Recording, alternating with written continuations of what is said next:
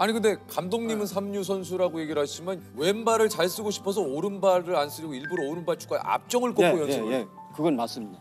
제가 그래서 앞정에 한 두 번 찔려본 경험이 있어요. 무- 무의식 중에 이제 앞정을 어디다 넣어요? 요, 요, 혀- 여기 여기 있잖아요. 예, 예, 예. 여기다 앞정을 거꾸로 꼽으면 아 공을 뒤로 찼어. 그렇죠.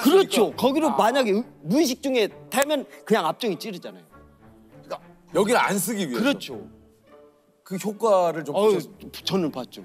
그래서 흥민이 같은 경우는 운동한다고 시작하면서 발 씻을 때도 왼발부터, 양말 신을 때도 왼발. 왼발부터, 바지나 옷 입을 때도 왼발부터, 신발 신을 때도 왼발, 운동장에 딱 들어가서 볼 터치 할 때도 왼발부터. 왼발. 그다음에 이제 슈팅 연습이나 이런 거 할 때는 1.5배 정도 횟수를 더 줬죠 왼발에.